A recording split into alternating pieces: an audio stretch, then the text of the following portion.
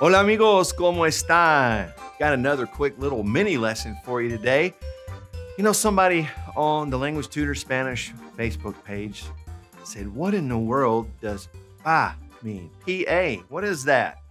Well, I'm going to tell you really quick because you're going to see it at some point probably.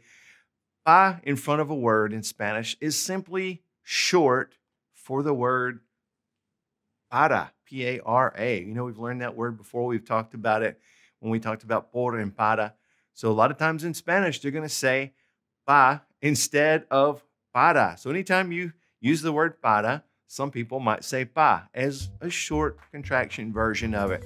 You know, this is really popular in Caribbean Spanish, but you know, I'm sure there's some other places that use it as well. So if you ever hear "bye," that's what it is, my friend. So now you understand it.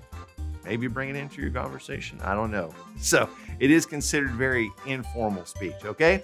Well, I hope that helped you out, guys. I hope you're having a great week, and I'll see you on the next lesson of the Language Tutor Spanish. Hasta pronto. Friends, thanks for watching The Language Tutor. If you have a question for me, feel free to leave it in the comment section below the video.